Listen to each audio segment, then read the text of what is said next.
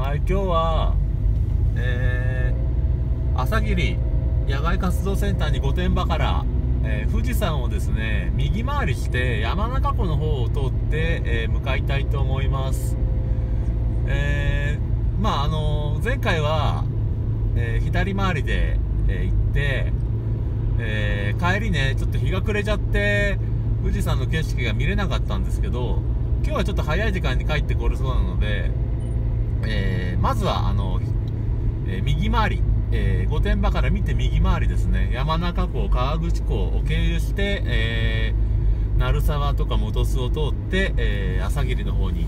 向かいたいと思います、えーここから、えーバイパス乗って、えー東富士五湖道路方面へ向かいたいと思います、えーここはですねあの、まあ、ちょっと東富士五湖道路につながる、えーバイパスなんですけど、えー富士山がねあの真正面にすごい綺麗に見えてます。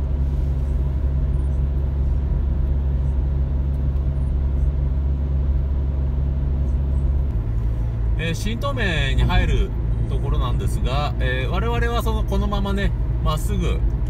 えー東富士五湖道路方面に向かいたいと思います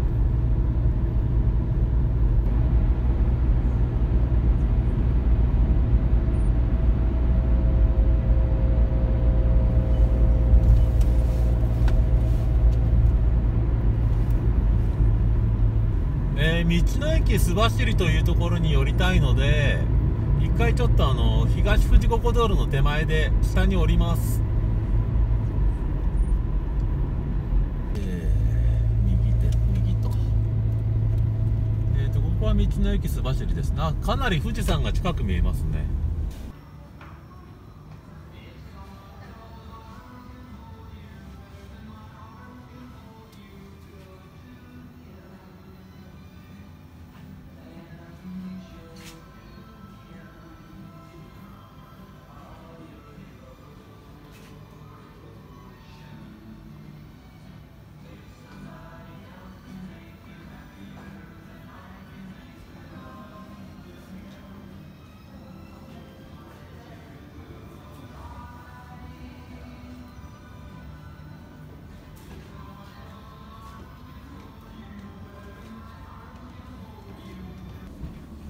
建物の2階の方に足湯須走りっていうのがありますね。9時から5時までなってます。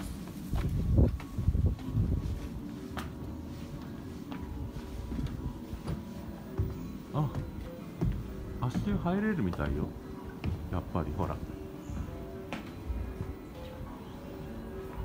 足湯に浸かりながらまあ富士山も見れるって感じですかね。左に行くと富士五湖道路にそのまま入れますけど我々はねちょっと時間あるので、えー山中、えー138号線で、えー籠坂峠を登って、えー山中湖方面向かいたいと思います。は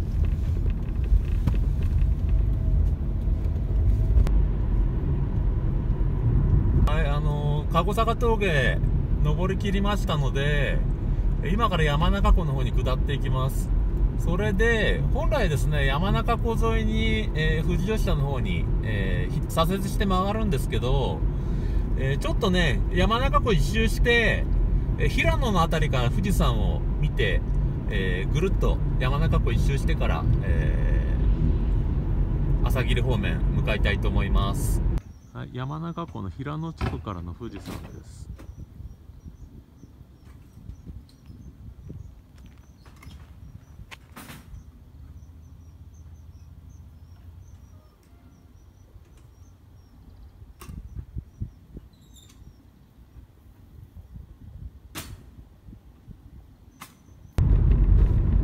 はい、えー、っとね、扶養台っていうんですかね、別荘地の入り口のあたりなんですけど、こ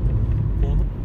今ね、左手にちょっと富士山見えてるので、駐車場があるので、そこで止まってみたいと思いますね。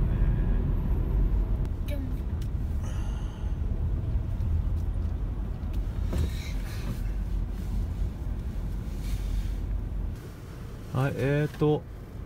こちら側から見ると左側に公園の噴火口があって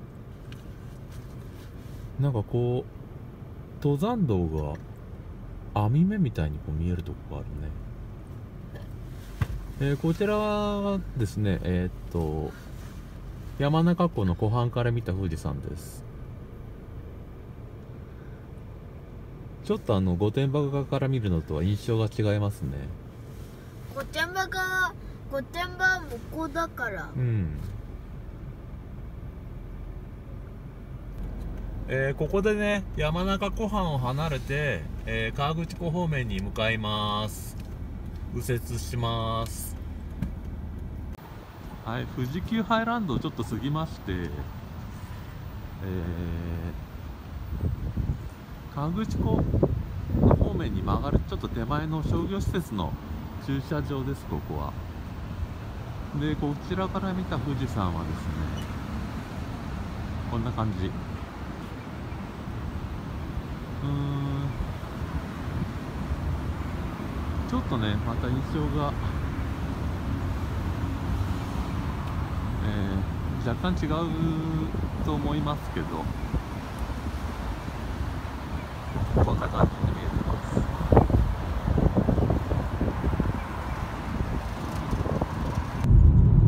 はい、えーと、鳴沢村にそろそろ入ります。えー、ちょっとね、コンビニの駐車場から、鳴沢から見た富士山ですね。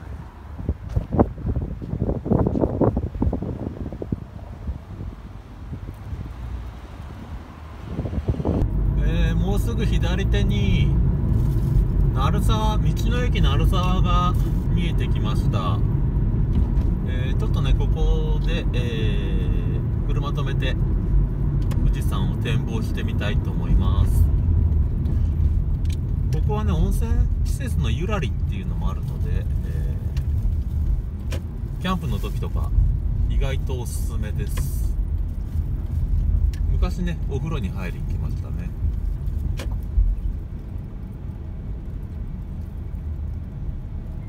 で富士山博物館っていうのがあるみたいですね。入館無料。ちょっと今日時間ないかな。鉱石ミュージアムなんていうのもあるな。富士山博物館と鉱石ミュージアムっていうのが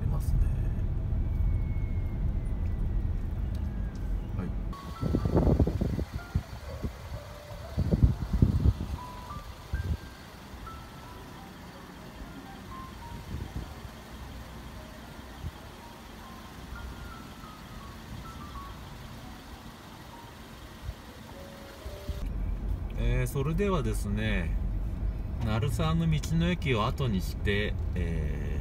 朝霧方面青木ヶ原を通ってですね朝霧方面に向かいたいと思います、えー今ですね青木ヶ原樹海の中を通って、えー本栖湖方面に向かってます。もう両端樹海ですねこの辺は。えー青木ヶ原を抜けてもうすぐ本栖湖という辺りですけど真正面に富士山見えてますね。この先カーブがあります。えーもうすぐ、えー山梨県から静岡県の方に入りますね、えーちょうどここで静岡県に入ります。静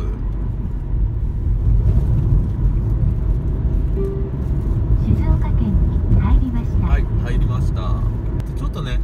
前回もここにちょっと泊まって富士山撮ったんですけど今日雲もないので富士山撮影してみたいと思います。ちょうど、えー山梨から静岡に入ったところですね、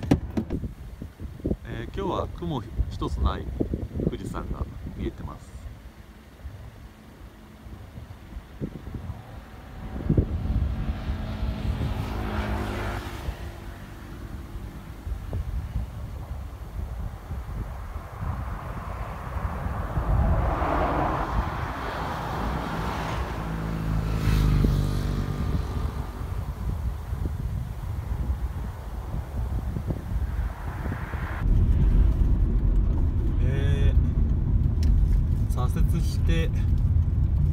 朝霧野外活動センターの方に向かっていきます、えーここはもう真正面に富士山見えていつも綺麗ですね。今日も晴れてよく見えます富士山が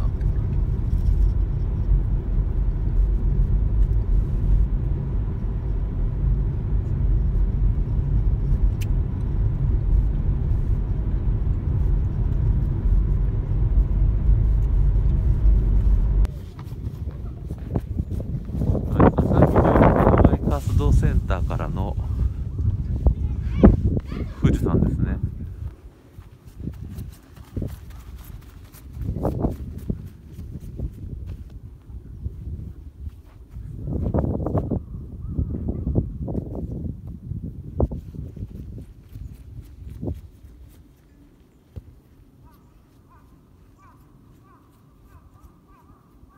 えっ、と朝霧野外活動センター、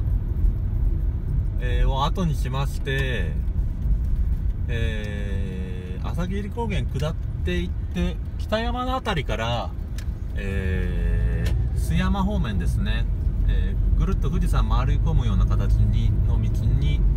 入って、えー、十里を通って今日帰りたいと思います。はいじゃああの富士宮方面に下ってきます。えーとですねちょっと寄り道して白糸の滝に寄っていきたいと思います。えーと白糸の滝に入りますけどここはぐるっと回って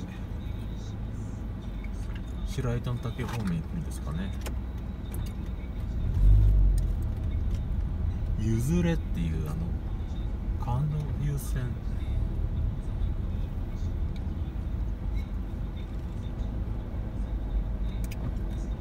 えーぐるりと回って、え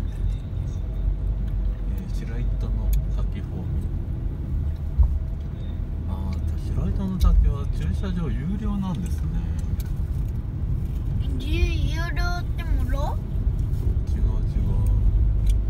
ちょっと戻ると、えー白糸の滝自然公園から富士山の展望はこんな感じ。すごいこう近くてすごいですね。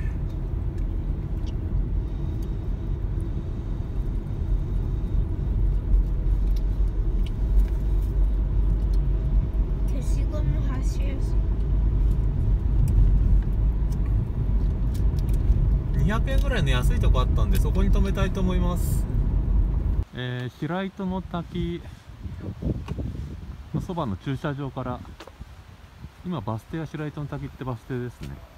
そこから歩いて白糸の滝に向かいます、えー富士山の展望はこんな感じ。ちょっと雲かかってきたけどすごい綺麗ですね富士山が。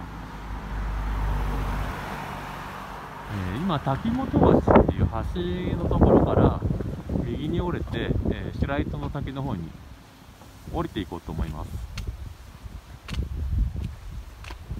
帯水と白糸の滝って分かれてるんですけどとりあえず白糸の滝の方に向かいます。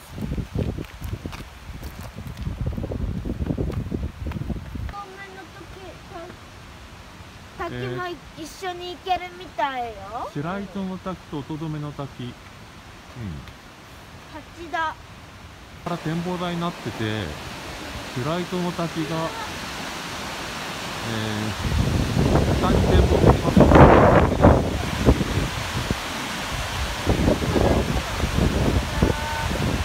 れが白糸だよ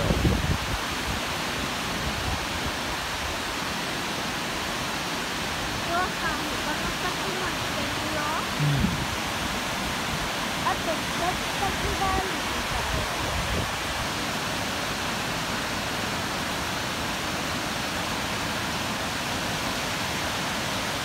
これすごいですね。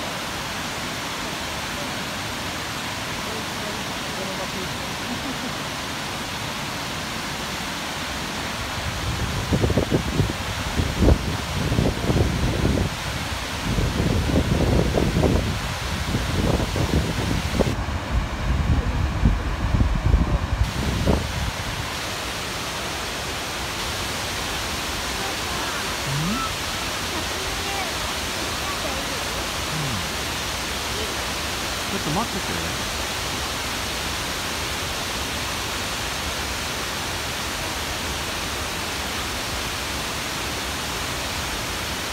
139号線をね横切って、えー72号線でそのまま御殿場方面に向かいます。途中でね、えー水ヶ津水ヶ塚の駐車場を目指して、えー富士山方面にちょっとひだ左折したいと思います。はいここから180号線ですかね。えーっと水ヶ塚方面に向かって、えー富士山に向かって登っていきたいと思います、えー富士宮口方面ですね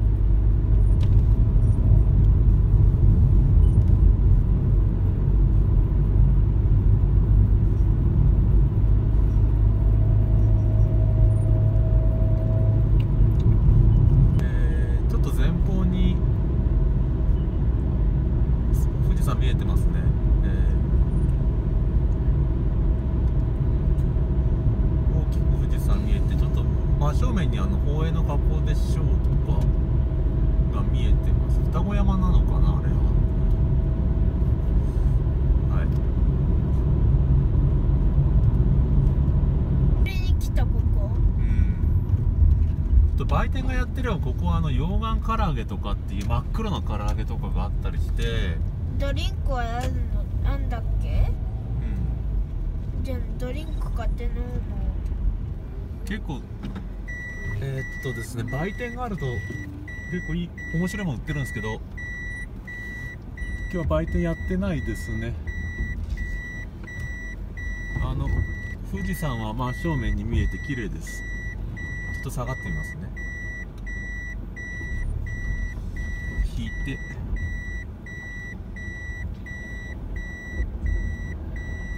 よいしょ。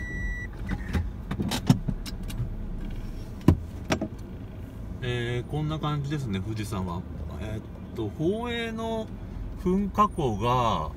もうもろにここは前に見えますね。ちょっと車降りて、えー富士山展望したいと思います、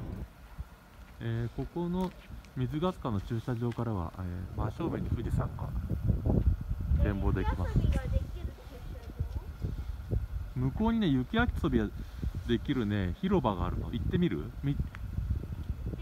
わあでもここは風強くて寒いですね。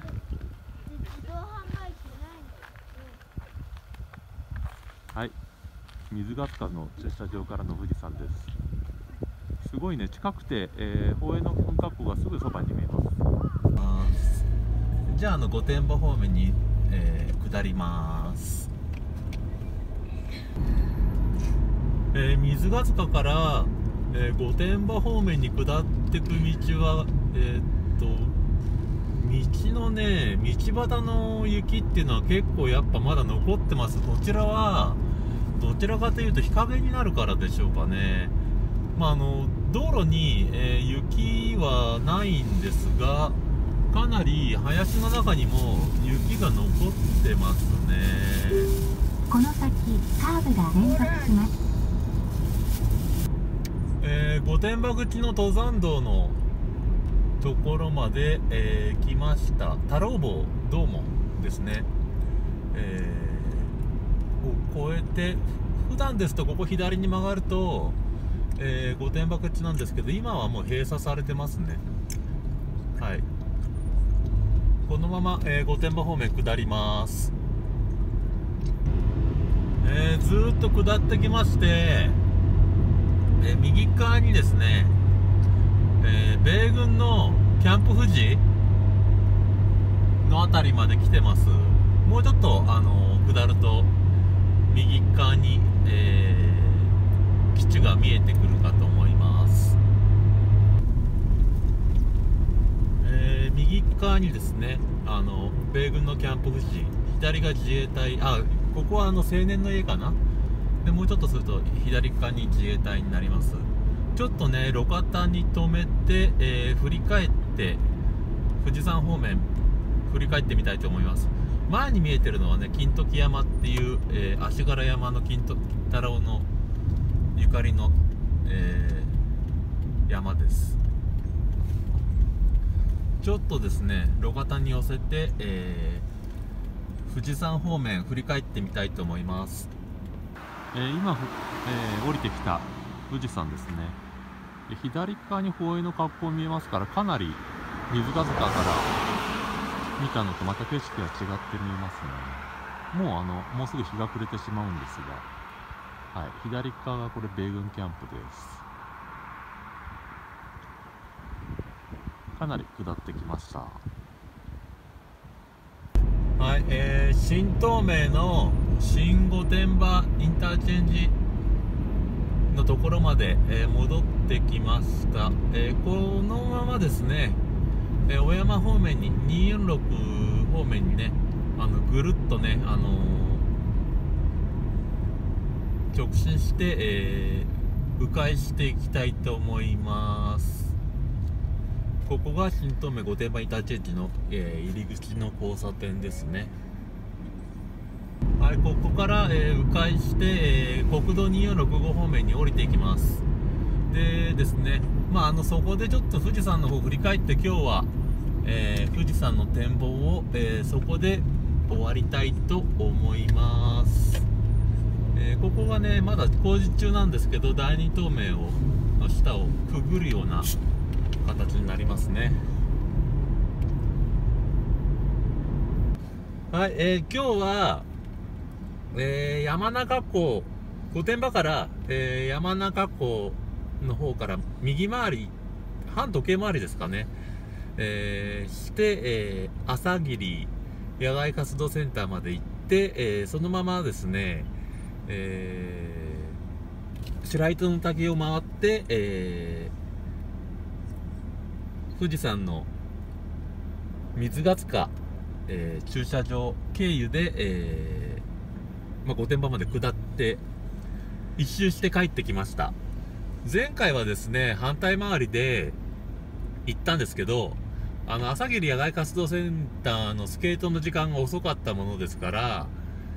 えー、鳴沢の辺りでね日が暮れちゃって月も出てない夜で全く富士山がもう見えない状態でそこで、えー富士山の展望を諦めたんですが今日はですね明るいうちに御殿場まで戻れたので、えー一周ぐるっと、えー展望することができました、えー今日はこれをもって、えー富士山ぐるり一周展望を終わりたいと思います。